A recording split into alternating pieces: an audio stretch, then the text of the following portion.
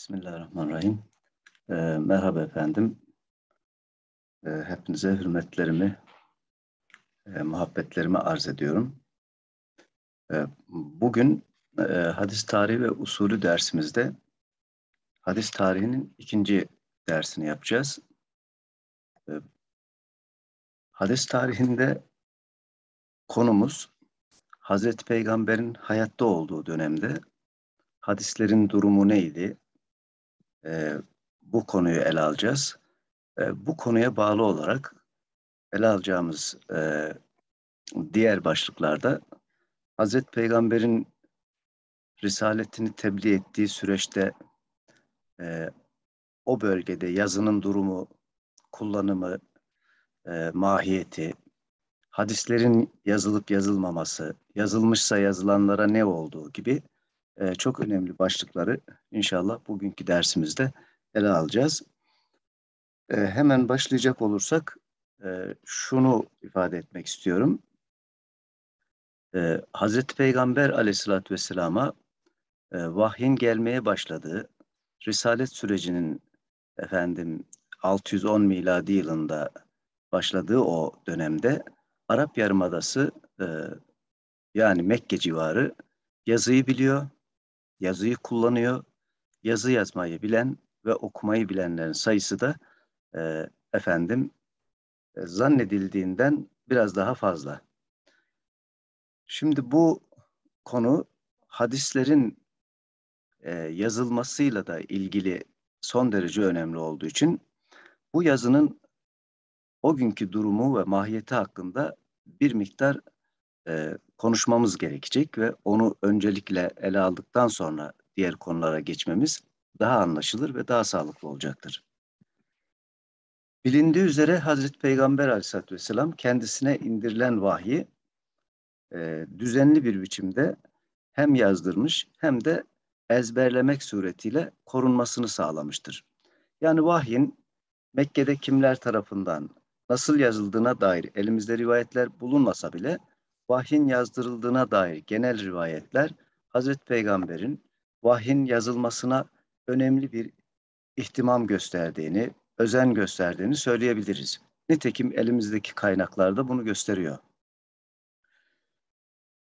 Ve yazının son zamanlarda yapılan bölgeyle ilgili bilimsel araştırmalarda, özellikle arkeolojik araştırmalarda e, Güney Arabistan başta olmak üzere Kuzey Arabistan'a doğru bu orta bölge Arabistan'da son derece önemli miladi 6. yüzyılda 7. yüzyılda yazılmış hatta 5. yüzyılda yazılmış yazılı malzemelerin bulunduğunu görmekteyiz.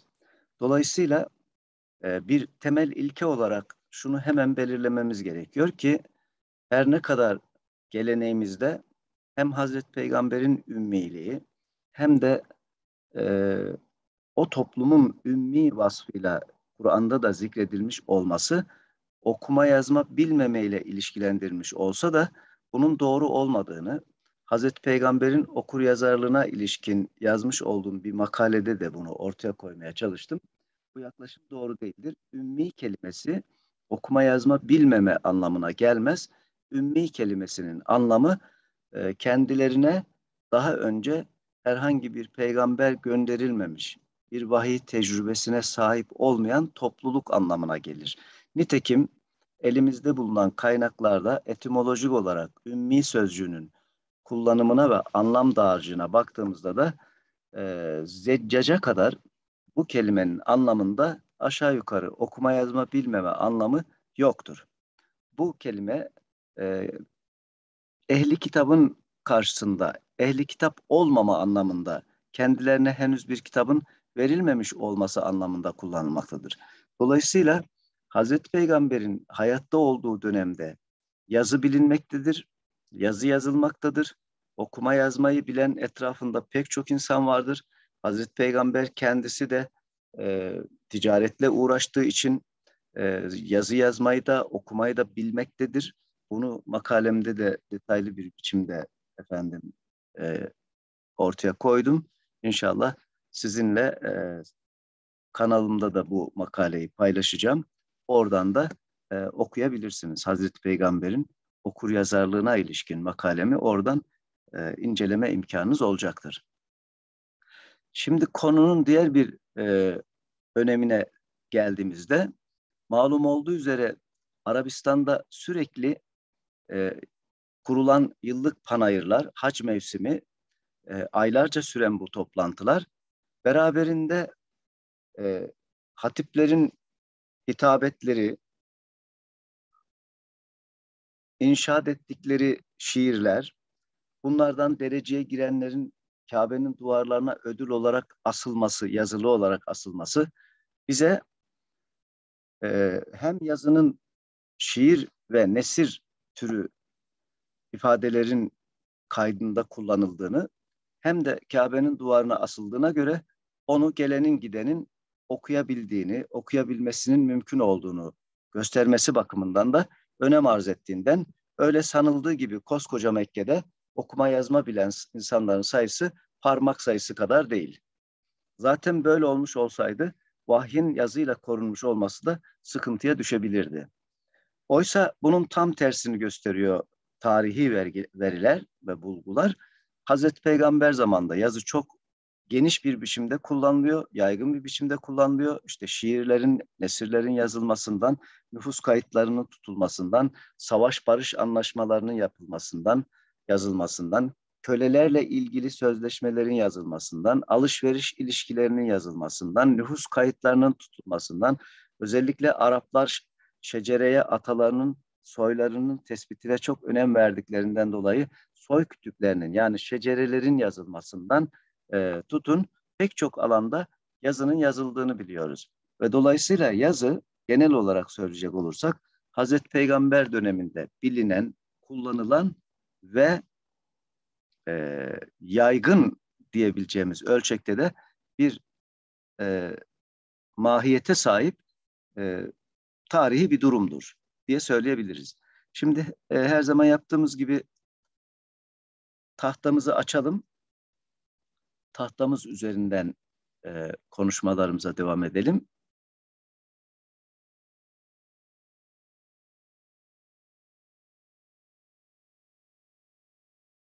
Evet. Yazının durumu Hazreti Peygamber döneminde e, geniş bir şekilde kullanıldığını ve bu şekilde bir mahiyete sahip olduğunu belirledikten sonra Hazreti Peygamber'in e, zamanında hadislerin yazılıp yazılmadığına, sahabe-i kiramın hadisleri yazma konusunda nasıl bir e, pozisyon içinde bulunduğu konusuna şimdi geçebiliriz. Demek ki Hazreti Peygamber aleyhissalatü vesselam e, yazıyı kullanıyordu. Ancak bu konuya geçmeden e, aklıma geldi. Şu hususun altını çizmek istiyorum müsaadenizle. Başlığımızı da koyalım. Hazreti Peygamber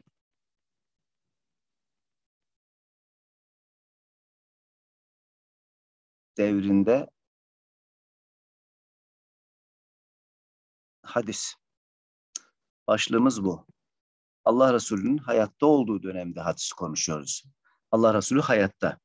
Onun mübarek sözlerinin o durumda e, ne olduğunu e, ele almaya çalışıyoruz. Buraya kadar e, yapmış olduğum giriş konuşmamda şunu söylemeye çalıştım.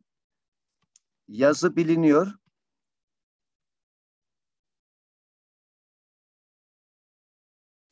İki, kullanılıyor. Fakat üç, tam gelişmemiş.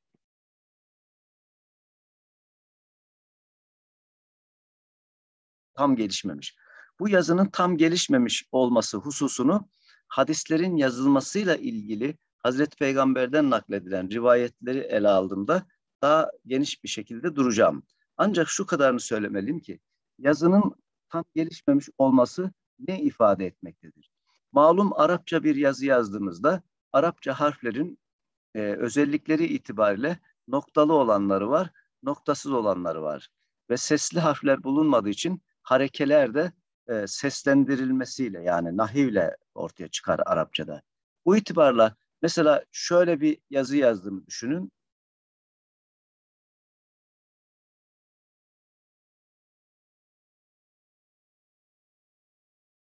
Böyle. Erken dönem yazı böyle yazılıyor. Yani bir herhangi bir noktalama yok. Yani bu bunu ikra bismi rabbik diye okuyabilmeniz için bunun okumayla yani okunuşla korunması gerekiyor. Yazı yazı okuyuş ile korunmalıdır. Tabi bunun ileri düzeyde e, o dönemde yazıların böyle yazılan yazıların e, iltibasa imkan vermemesi ve net okunması için çok önemli kaideler var. O bizim dersimizi aşkın olduğu için e, o konuya girmek istemiyorum. Çünkü o apayrı bir etimolojik uzmanlık alanıdır. E, bu tür yazıları e, okumanın imkanı iltibas olmadan, bir karışıklığa sebebiyet vermeden bu tür yazılar nasıl okunmalıdır? O bizim dersimizi aşkın olduğundan oraya girmek istemiyorum. Demek ki Hazreti Peygamber'in zamanında yazı henüz çok kamil manada gelişmemiş olsa bile yaygın bir biçimde kullanılabiliyor ve ihtiyacı görüyor. Peki bu durumda Hazreti Peygamber Aleyhisselatü Vesselam'ın mübarek sözlerinin sahabe tarafından yazılıp yazılmamasına ilişkin kaynaklarımız bize hangi bilgileri veriyor? Bu konuda ne bilgiler var ve bu konularda verilen bilgileri nasıl değerlendirmeliyiz konusuna geçebiliriz. Değerli arkadaşlar, e, dersimizin bu önemli başlığında hadislerin yazılması diye bir başlık koyalım. Oradan devam edelim. Bir, hadislerin yazılması.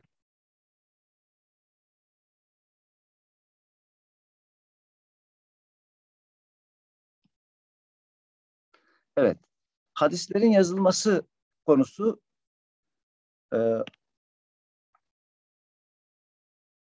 söz konusu olduğunda Allah Resulü'nden iki tane rivayetin e, geldiğini görüyoruz. Bu iki rivayet çok önemli. Bir de e, Hazreti Ebu Hureyre'den gelen üçüncü bir rivayeti ekleyip üçünü birlikte sizinle paylaşmak üzerinde durmak istiyorum.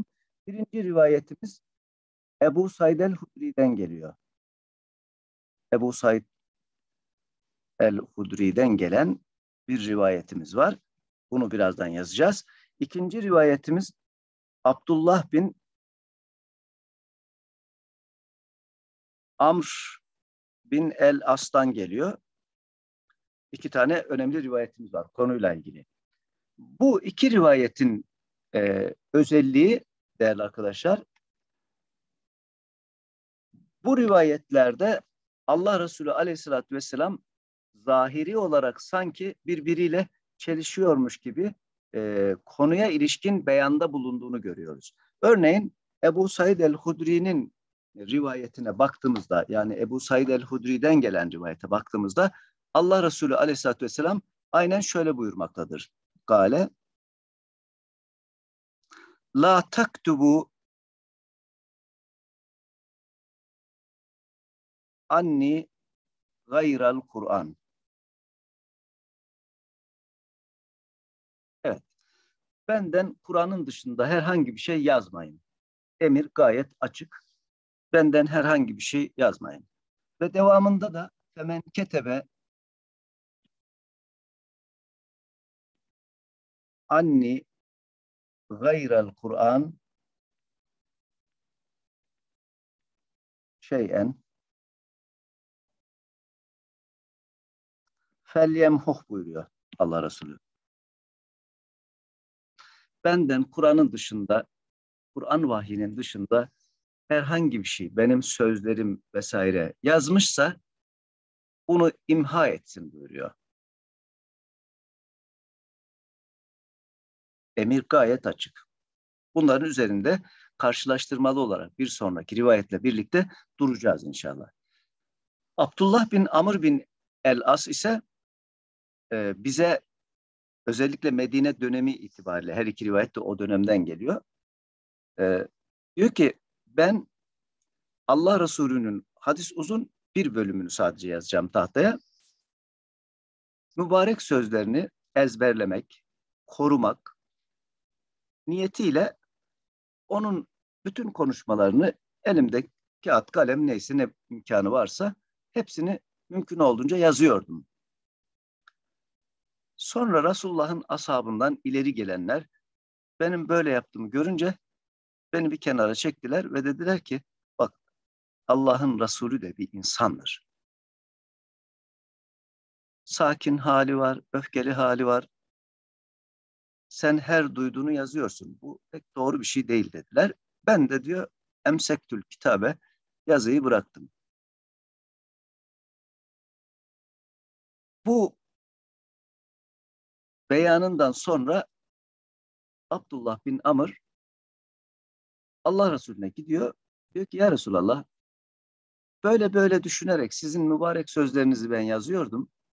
Fakat ileri gelen ashabınız bana bunun doğru olmadığını, sizin de bir insan olduğunuzu, sakin zamanınızın, öfkeli zamanınızın olduğunu, dolayısıyla her durumda da sözlerinizi yazmamın isabetli olmayacağını bana söylediler. Ben de yazmayı bıraktım. Ne buyurursunuz diye sorduğunda Allah Resulü ona diyor ki gale uktüp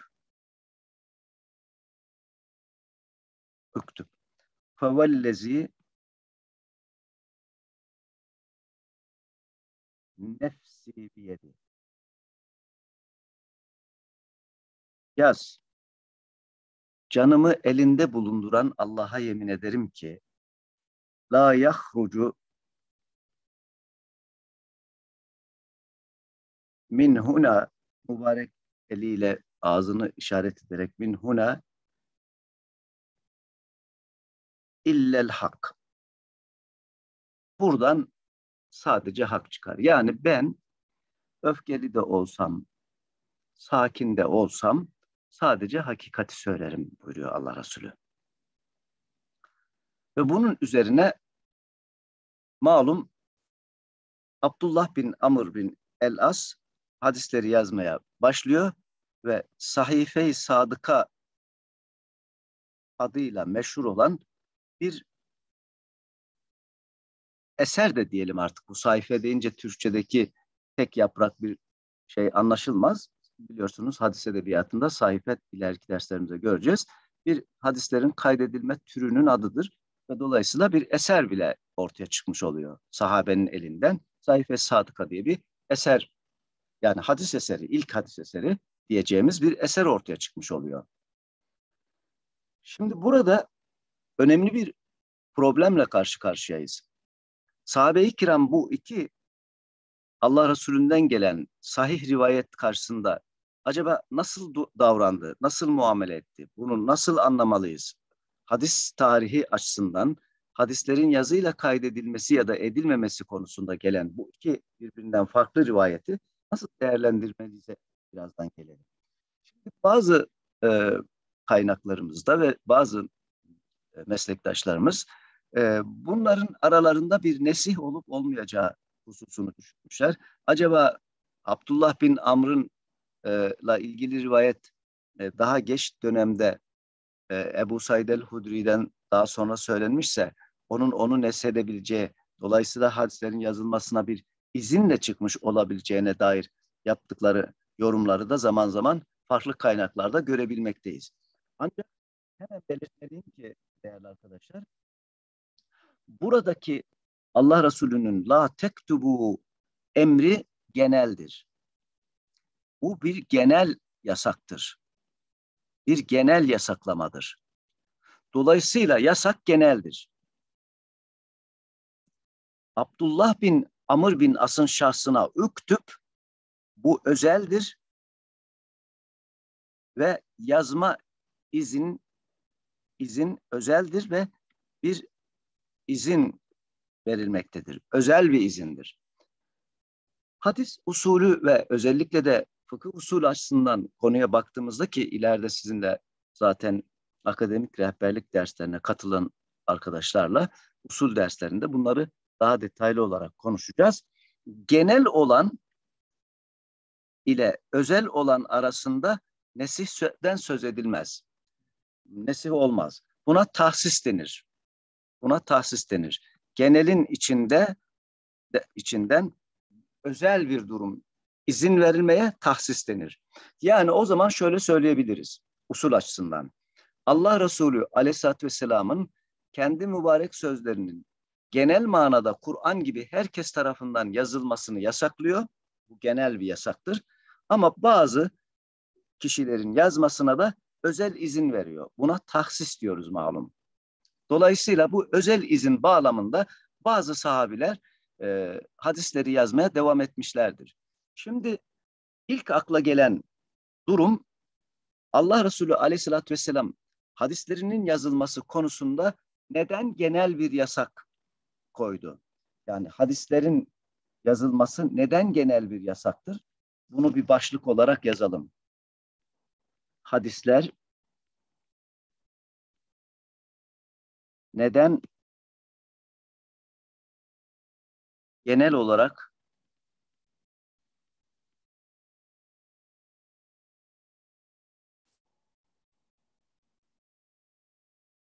yazılması yasaklandı.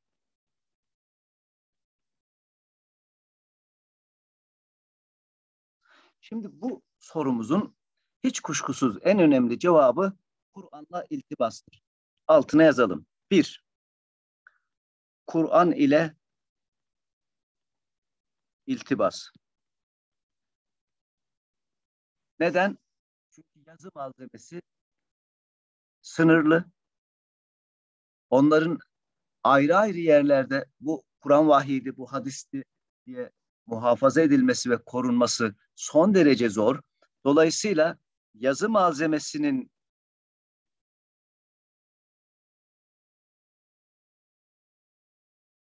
çıkardığı bir zorluk böyle bir yasağı getirmeyi gerekli kılıyor. Çünkü Allah Resulü'nün birinci önceliği kendisine indirilen vahyin korunmasıdır. Şimdi hadislerinin de yazılmasına genel manada Kur'an'ın yazıldığı gibi izin vermiş olsaydı bu yazılan malzemelerin zamanla birbirine karışması, iltibas etmesi, iltibas e, ortaya çıkarması ve hangisi Kur'an'dı, hangisi hadisti şeklinde bir ümmetin erken dönemde ihtilafa düşmesi söz konusu olurdu ki çok şükür bizim geleneğimizde böyle bir ihtilaf bilmiyoruz. Yani Kur'an-ı Kerim toplandığında da musaf haline dönüştürüldüğünde de e, çok şükürler olsun hangisi hadisti, hangisi ayetti, bunlar neden birbirine karıştı gibi bir problemimiz söz konusu değil. İkincisi, ikincisi Kur'an Kur'an hem yazı ile hem yazı ile hem de okunuş ile korunuyor. Çünkü ibadetlerde okunuyor, tebliğlerde okunuyor, öğrenim için okunuyor, İslam'ın tebliği için okunuyor. Okunuş ile korundu. Dolayısıyla az önce yukarıda e, ifade etmeye çalıştığım yazının az gelişmiş olduğundan hareketle şu ibareyi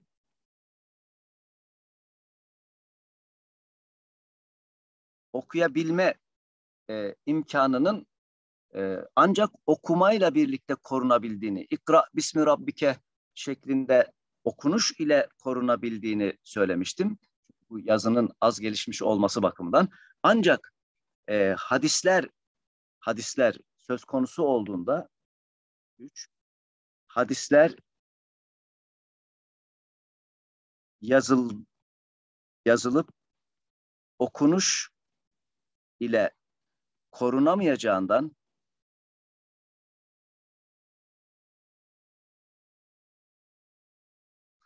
hadisler yazılacak ama okunuşla Kur'an'ın olduğu gibi tek bir okuyuşta ki buna rağmen Kur'an'ın da malum birçok farklı kıraatları var. E, korunamayacağından dolayı hadislerin ibareleri farklı okumalara açık olacaktı. Dolayısıyla farklı okuma, farklı okumalar, farklı okumalar farklı anlam demektir. Farklı anlam ortaya çıkacaktı. Evet, peki bu e, ümmetin çok ciddi bir ihtilafa düşmesine sebep olacaktı. Nitekim böyle olmamasına rağmen hadislerin ihtilafta ne kadar önemli rollerinin o rolünün olduğunu ileride konuşacağız. Demek ki birinci öncelikli Allah Resulü'nün genel manada hadislerin yazılmasını yasaklamasının ana nedeni e, hadislerin sadece yazılmasının ve okunuş ile korunamayacak olmasının ve yazılan bu malzemenin ileride farklı okumalara imkan tanıyarak farklı okumalarında farklı anlamlara gelmesini mümkün kılmasından doğacak olan sorunları engellemek ve önlemek maksadıyla sevgili Peygamberimiz Aleyhisselatü Vesselam e, sözlerinin, mübarek sözlerinin yazılmasına izin vermemiştir. Ama bazı bu iltibasa imkan vermeyeceğinden emin olduğu bir kısım sahabiye, işte Abdullah bin Amr bin As gibi onlara seslenmemiş, özel izin vermiş, siz yazabilirsiniz demişlerdir. Bu konuda e, üçüncü bir rivayeti Ebu Hureyre'den yazmak istiyorum. Üçüncü rivayet Ebu Hureyre. Ebu Hureyre diyor ki sahabe içinde benden daha çok hadis bile, bilen Abdullah bin Amr bin As'tır.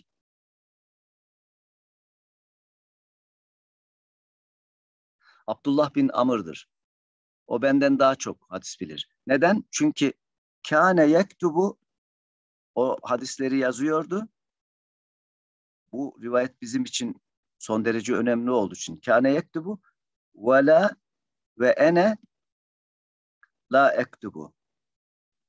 Ben yazmıyordum. Ben yazmıyordum diyor. O yazardı, ben yazmıyordum. Bu neden bizim için bu konumuzla ilgili son derece önemli? Şundan dolayı. Ebu Hureyre'nin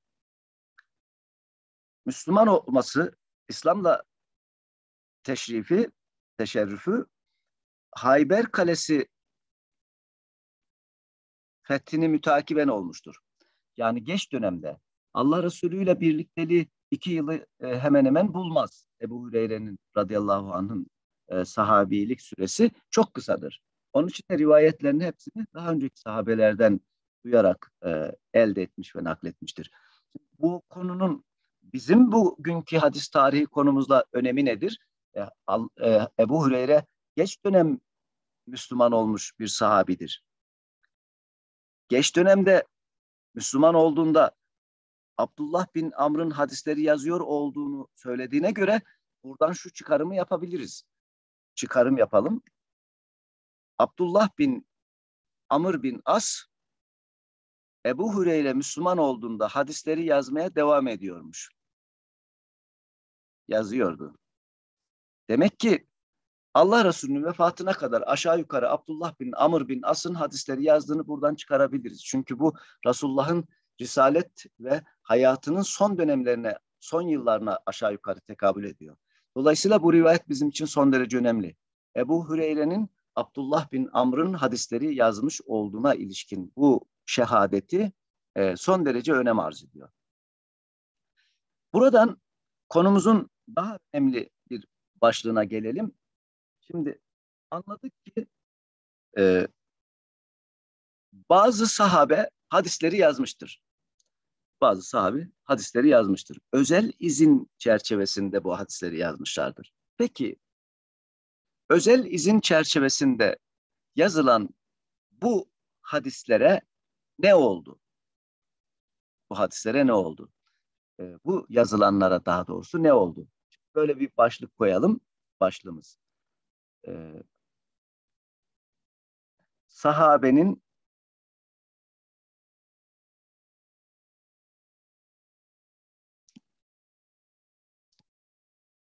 yazdıkları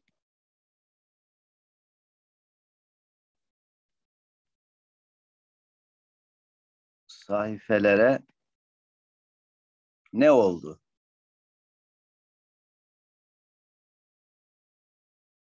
Bu soru bizim bugünkü işleyeceğimiz hadis tarihi dersimiz açısından son derece önemli. Değerli arkadaşlar, hemen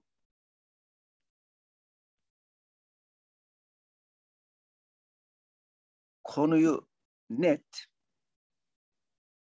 açık bir biçimde anlamanız için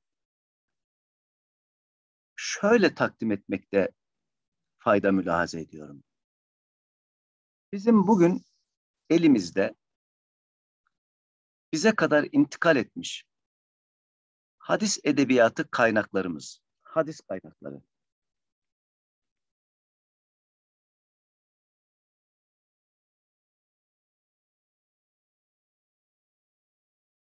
Bu kaynakların içinde yer alan rivayetlerin Hazreti Peygamber'e ait oluşu söz konusu olduğunda en güvenilirleri hangileri diye sorduğumuzda bir İmam Hatip öğrencisi bile hemen Buhari'den, Müslim'den başlayarak bize Buhari, Müslim, Kütüb-i Sitte'yi saymaya başlayacak değil mi? Bunlardır diyecek. Ve nitekim ümmet geleneğimizde Allah Resulü'nün mübarek sözlerinin ona ait oluşuyla ilgili sahihlik konusu söz konusu olduğunda bu altı kitabın daha bir öne çıktığını, diğerlerinden daha güvenilir olduğunu kabul etmiş. Bu ümmetin genel bir kabulüdür. Bunu niye söylüyorum? Şunun için söylüyorum. Şimdi sahabenin yazdığı sahifeler şayet sonraki nesillerin bakın buraya yazıyorum. Tabi'in. Tebe-i tabi'in.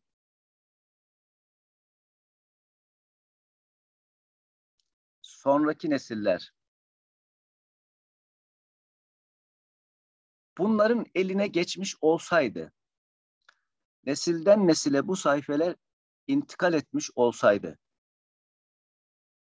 biz bugün hangi hadis kaynağı daha güvenilir dediğimizde Buhari ile mi başlamamız gerekirdi? Abdullah bin Amr bin As'ın Es-Sahifesiyle mi başlamamız gerekir? Hiç kuşkusuz en başta Es-Sahife ile başlamamız gerekirdi. Neden? Ya da başka hangi sahabenin sayfayla mesela Hazreti Ali'nin kılıcının kabzasında sürekli taşıdığı bir sayfasının olduğundan sayfeyi Ali'den de bahsediliyor Ebi Talip'ten radıyallahu anh. Demek ki esas onların olması lazım. Çünkü Allah Resulü mübarek ağzından duymuş hemen yazmışlar. Bundan daha sahih ne olabilir? Yani bugünkü manada kameraya çeksen ancak bu kadar sahih olabilir. Ve bunların hiç sahihliğinin tartışılmaması lazım. Sahabi mübarek duymuş ve yazmış. Ama bizim hadis edebiyatı geleneğimizde sahih rivayetlerin toplandığı kaynaklar listesine baktığımızda bu sahabiye ait hiçbir dökümanın adı yok orada.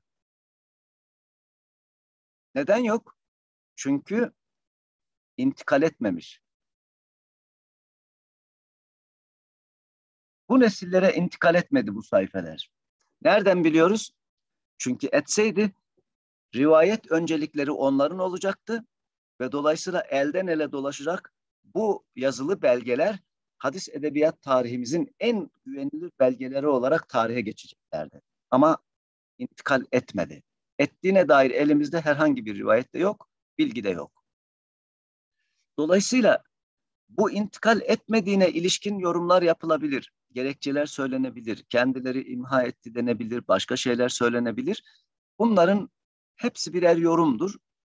Doğru olma ihtimali de var. Olmama ihtimali de var. Ama yoruma ihtiyacımız olmayan şey nedir? Bunların daha sonraki nesillere intikal etmemiş olduğudur. Şia bile, bakın Şia bile Hazreti Ali'nin sayfasından bahsetmiyor. En azından Şia'nın ya bizim elimizde Hazreti Ali'nin kendi sayfası var. Orada şu rivayetler var demesi lazım. Orada bile bu efendim Hazreti Ali'ye ait sayfenin e, söz konusu olmadığını görüyoruz. Buradan hareketle sonuç itibariyle diyebiliriz ki sahabe-i kiramın sonuç olarak bunları şöyle yazalım. Değerli arkadaşlar. E, sonuç dersin sonuç ilkeleri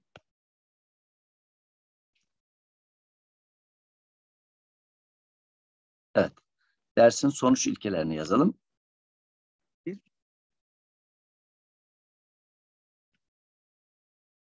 Bir sahabe hatta bazı sahabe bazı sahabe özel izin ile ile hadisleri yazmıştır. Bu inkar edilemez. Çünkü elimizdeki rivayetler bunun reddine izin vermez. Tarihi bir vaka olarak sahabenin bazıları e, özel bir izinle Allah Resulü'nün müsaade etmesiyle hadislerini yazdığını biliyoruz. Bu temel bir ilkedir. İki,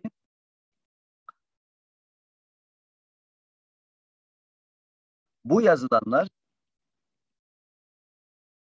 bu yazılanlar daha sonraki nesillere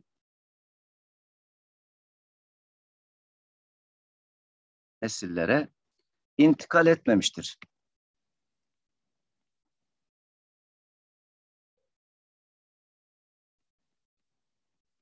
Evet, intikal etmemiştir.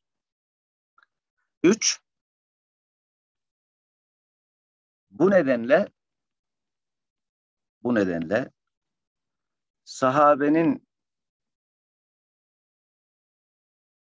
yazdıkları sahifeler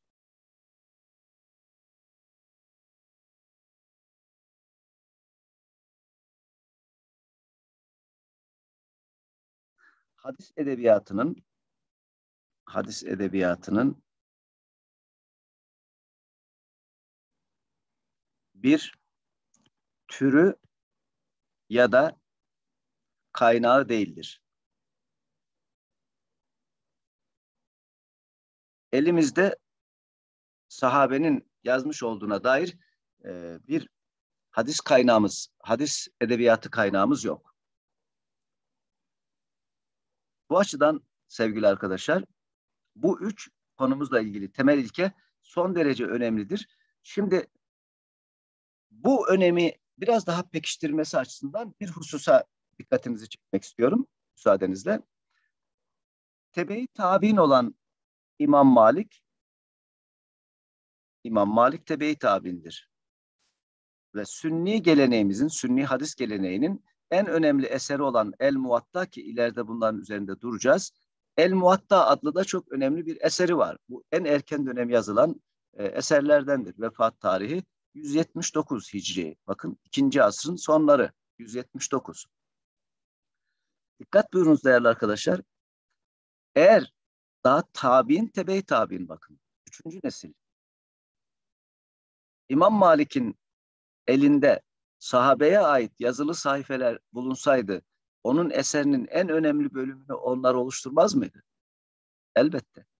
Ama peki Muvatta'da bu rivayeti ben sahabenin şu sayfasından aktarıyorum diye tek bir cümle bulamazsınız.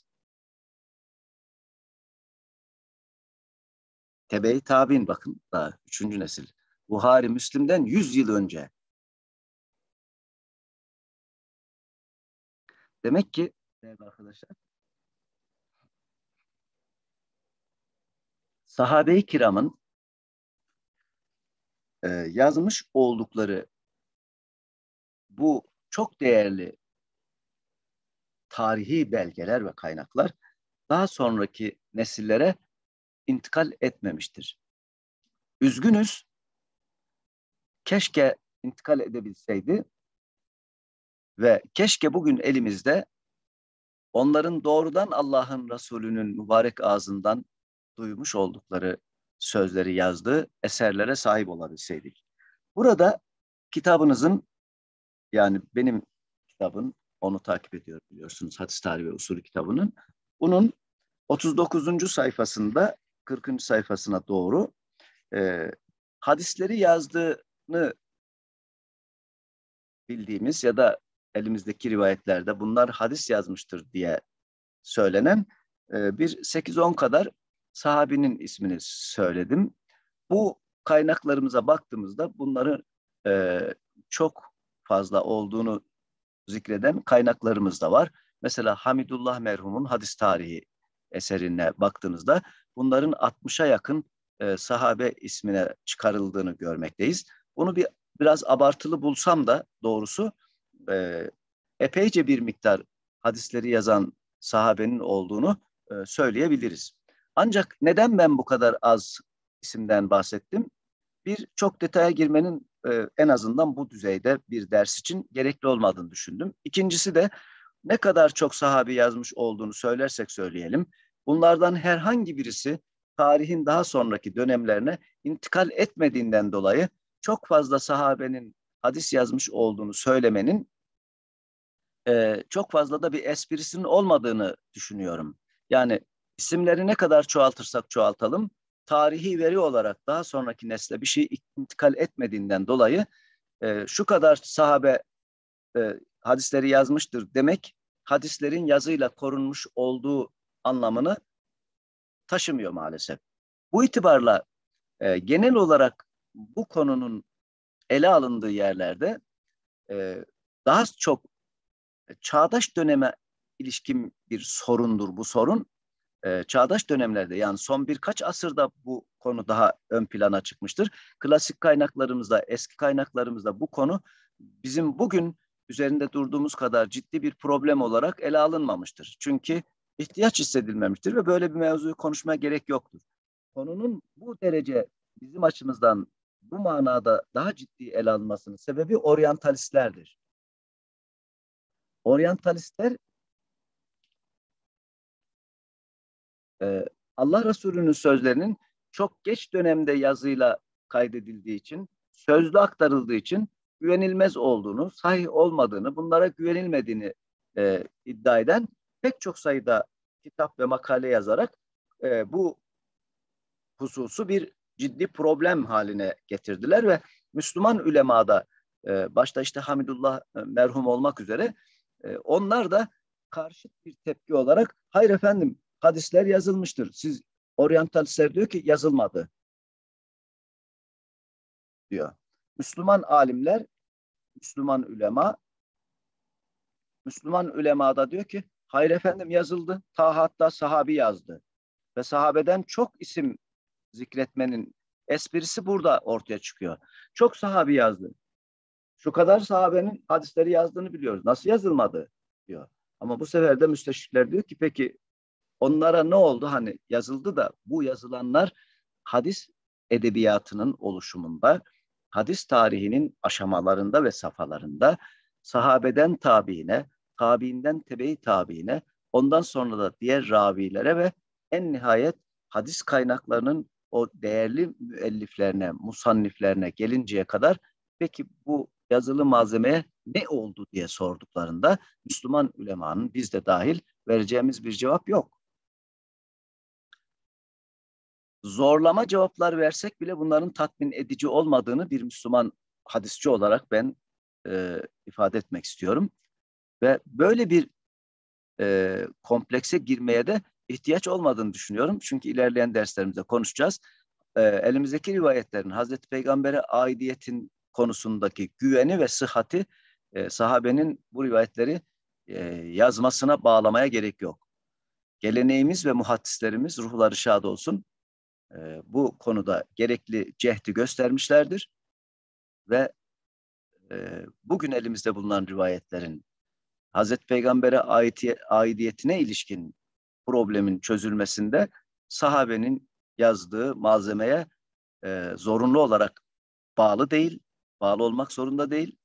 E, böyle bir komplekse girmeye de gerek yok. E, o sayfeler bize intikal etmedi diye rivayetlere güvenilmez o halde sonucu çıkarmak da son derece yanlıştır. E, dolayısıyla müsteşriklerin bu konudaki söyledikleri husus her ne olursa olsun e, böyle bir komplekse girmeye ya da e, tam tersini savunarak efendim yazıldı bak şu kadar çok sahabe yazmıştır şeklinde bir karşı savunmanın bizi daha zor duruma düşüreceğini düşünüyorum. Çünkü o zaman bu yazılanlar hani ne oldu? Nasıl bir kaynaklık değeri var? Daha sonrakine nesillere nasıl intikal etti ya da etmedi? Sorusunun cevabını veremiyoruz. Değerli arkadaşlar, biraz uzattım biliyorum. E, beni hoş görün lütfen. Çok önemli bir e, hadis tarihi dersiydi bugün. E, bu derste Hazreti Peygamber hayattayken hadislerin durumunu ele aldık. Buna bağlı olarak yazıyı, yazının durumunu, yazının kullanım alanlarını ve Hazreti Peygamber'in kendi sözlerinin yazılmasına izin verip vermediği problemini ve yazılanların ne olduğuna ilişkin e, sorunları konuşmaya ve ele almaya çalıştık. Umarım e, anlaşılır ve faydalı bir ders olmuştur. E, önümüzdeki hadis tarihi derslerinin birisinde hem sahabeyi hem sahabet devrinde hadis, sahabe ve hadisi ayrıca bir ders olarak da bunu takviye edecek. Bu dersimizi tamamlayacak bir derste işleyeceğimiz için burada kalıyorum. Bununla yetiniyorum. Şimdi bundan sonraki hadis usulü dersimizde inşallah e, yine bu konuyu tamamlayacak olan bir usul ders işleyeceğiz ve devamında hadis tarihimizin kendi seyrinde, kendi efendim e, gelişimi içerisinde konularını el almaya ve sizlerle paylaşmaya devam edeceğim. E, zaman ayırıp dinlediğiniz için gösterdiğiniz ilgi nedeniyle de ayrı ayrı hepinize teşekkür ediyorum. E, çok sağ olun efendim. Sağlıcakla kalın. E, Allah'a emanet olunuz.